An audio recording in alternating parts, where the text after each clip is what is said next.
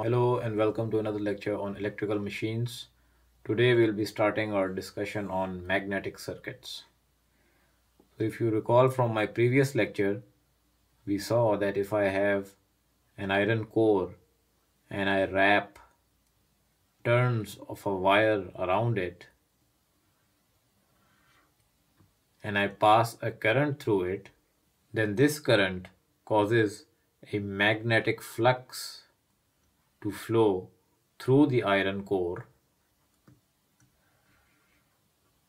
and the relationship for this flux phi we derived in our previous lecture is given as mu times Ni A over LC. So you can click on the link to watch that video if you haven't seen that. Today we will be seeing how we can represent this relationship in terms of a magnetic circuit. A magnetic circuit. This magnetic circuit is quite analogous to electrical circuits which we have been looking at in quite some detail in my lecture series on electrical circuits. You can take a look at that lecture series if you are interested.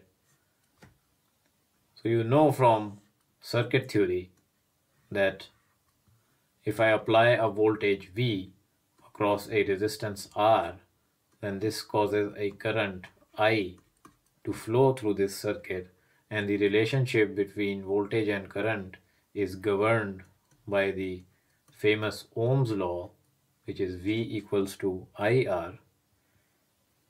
In an analogous way, we can also make a magnetic circuit like this.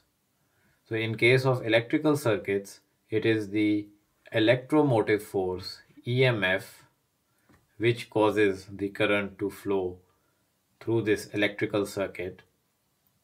While in case of a magnetic circuit, it is the magnetomotive force which causes a flux to flow through the circuit. So the equivalent magnetic circuit would be a magnetomotive force with strength given by Ni from this equation. I see that this is the magnetomotive force in series with a reluctance. Reluctance is given with a curly R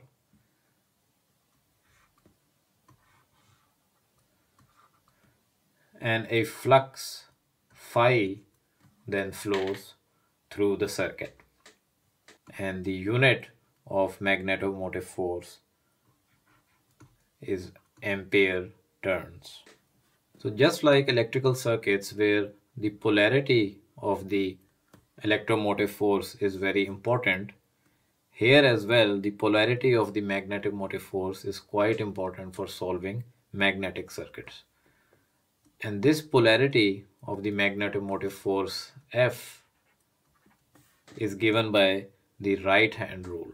So if the right hand rule says that if you point your fingers in the direction of the current flow through the wire, then the thumb will point in the direction of the flux flow.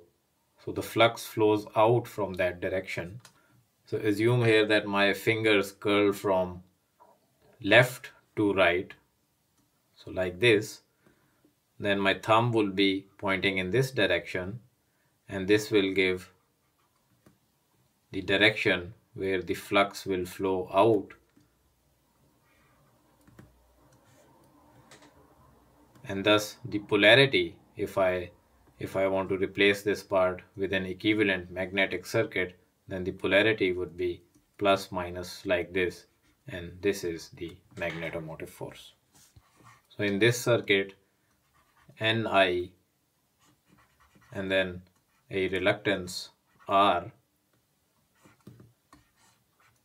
with a flux that flows like this just like Ohm's law we can write the expression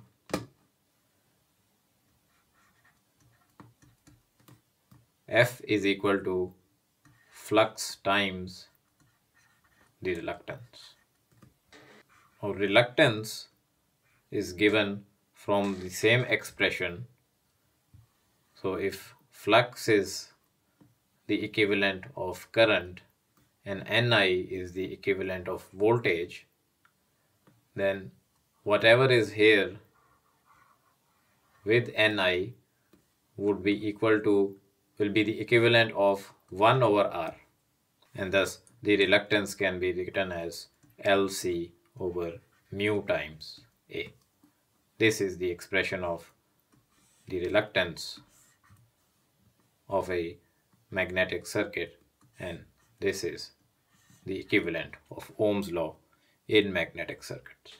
It is also worth mentioning here that magnetic circuits also follow the same rules like resistive circuits. So we know that resistances in series are added. Similarly, reluctances are also added in series.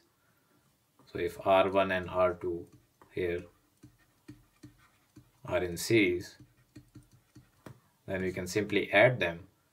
On the other hand, if R1 and R2 are in are parallel to each other, then we simply take the reciprocal of the reluctances and then we add these. There is also an analogy of 1 over R. So 1 over R in electrical circuits is called the conductance or G. In a similar way, 1 over R is called the permeance. So this is the permeance.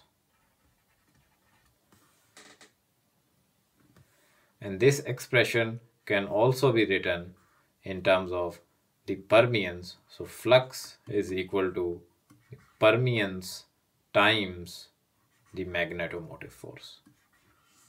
So we'll see that in some cases this equation is easier to solve compared to this equation.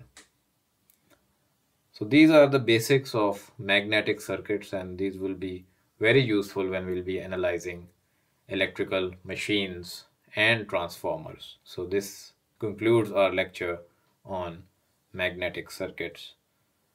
So in the next lecture, we'll see how nonlinearities can affect this magnetic circuit equivalence.